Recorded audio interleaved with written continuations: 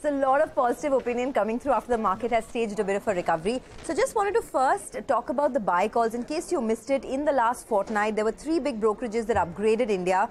Uh, Goldman Sachs, Morgan Stanley and Bernstein. Now, um, all three brokerages are making the same point that valuations have now become attractive in the Indian market and it's a good time to buy. It's a good time to put money into quality stocks, especially the ones that have fallen. Goldman Sachs says that MSCI India is now trading at 19 times forward PE, which is close to the fair their fair value estimate of 18 and a half times, and they have a 12-month Nifty target at 20,000. Bernstein says the same thing that there's been a severe underperformance that India has seen in the last six months compared to emerging markets. Now the time has come to reverse roles, and Morgan Stanley, Jonathan Garner, upgraded India recently.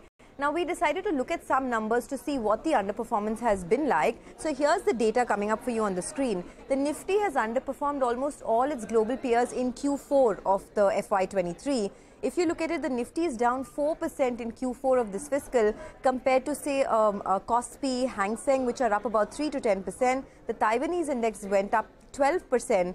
The Dow Jones was up 0.3% and a couple of the other markets like the Russian markets were also a tad bit in the green. So in that context, the Nifty is severely underperformed.